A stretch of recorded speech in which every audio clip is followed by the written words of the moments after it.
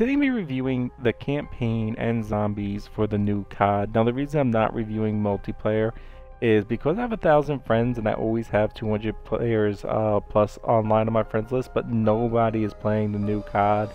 And after a recent bug that I'll get into, I'm not even going to be touching this Call of Duty really further. I might do the Easter egg just because I already have everything maxed, but other than that, uh, I'm not buying the new COD. I'm just done with COD, but let me get into my review of why I'm done with COD. So, I like doing the campaign on Veteran on COD. I have in the past, but it's just gotten to the point like this. This campaign was just so easy.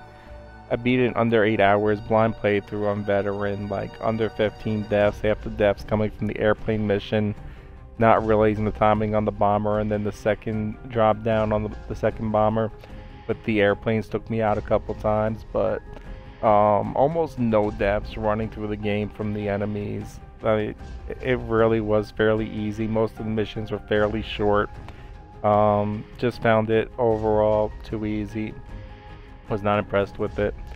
Zombies, I think the new zombies would have been really cool, but they made a significant problem with solo and multiplayer where they put two very close quarter maps the staircase building map and the building map. Now, when you do these on Wave 15 plus solo, it's generally a death trap if you're not just throwing cymbal monkeys.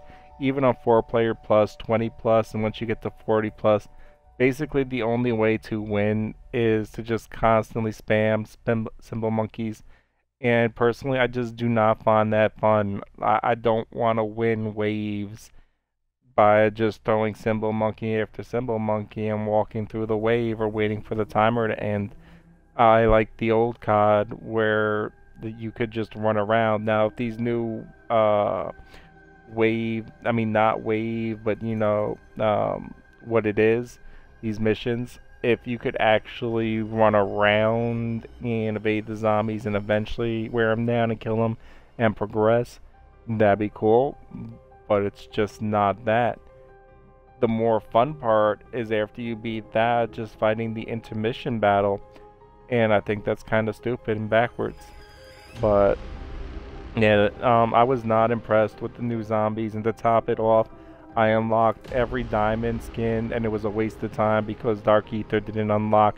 And I contacted Treyarch, and they can't even unlock the skin for me even after providing them proof in my gamer tag and everything that I have all diamonds for all classes. Like I literally wasted six days on the double XP grinding around the clock, getting all these skins for the, the weapons I'll never use, all the camo challenges completed, and the Dark Ether skin that I wanted to do the Easter egg with and just to have, uh, didn't even unlock. And I don't know if it'll ever unlock because Treyarch can't unlock it for me. So yeah, I'm done with COD. Next year, um, I'll either be getting another potential really cool game that I might try out, or I'll be getting Halo or Battlefield. I've done COD for years. I've been doing COD since the first COD. I, I got pissed off after, not really pissed, but like, was it Black Ops 3, I think? Uh, I took a break for like two, two of them after that and then I came back, wasn't really that impressed, took another break for a year, came back for the last two. I had a problem last year with one of my diamond skins, but I, I got it to unlock like shortly after.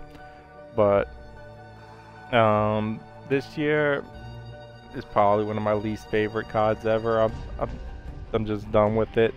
Uh, Halo and Battlefield both have cheaters on the game right now. Go figure, no company can go fix the PC uh, training programs want to put crossplay on, and but they can't fix the preventing these training programs from getting in and cheating and other exploits. But yeah, that's my review of COD. Um, I, I think it's consensus too from a lot of people I play with. Like all my friends, like I don't put anybody on my friends list if they can't play and everybody that did play the new COD is already done with the new COD. I just don't see them online anymore. Um, after I told my one friend that was also grinding the Dark Ether that I got all the diamonds and it didn't unlock, I haven't seen him online in COD in four days, and that's all he was playing until then.